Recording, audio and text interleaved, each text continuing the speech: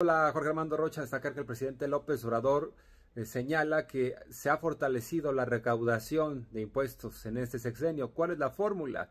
Bueno, pues eh, eh, se estableció en la Constitución que ya no se condonan los impuestos y también se han hecho auditorías a grandes contribuyentes que se estaban haciendo de la vista gorda en colusión con las propias autoridades. Así que vean nada más, estos son los números que no dejan mentir. Se ha fortalecido la recaudación a pesar de que algunos pensaban eh, que se iba a caer y no sucedió incluso en los tiempos de la pandemia.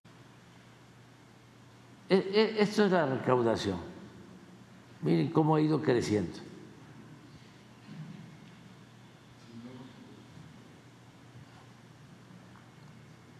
Sin nuevos impuestos.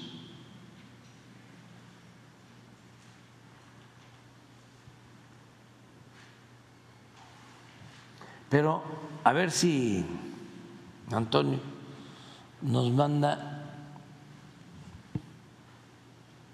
eh, unas gráficas, unas tarjetas que me entregó ayer sobre lo que hemos podido recaudar con auditorías, los que no querían pagar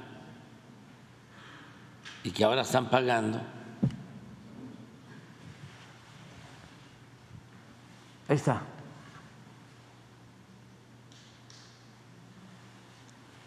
Recaudación por auditorías y promoción del cumplimiento. Promoción del cumplimiento es mandarles un telegrama, un fax,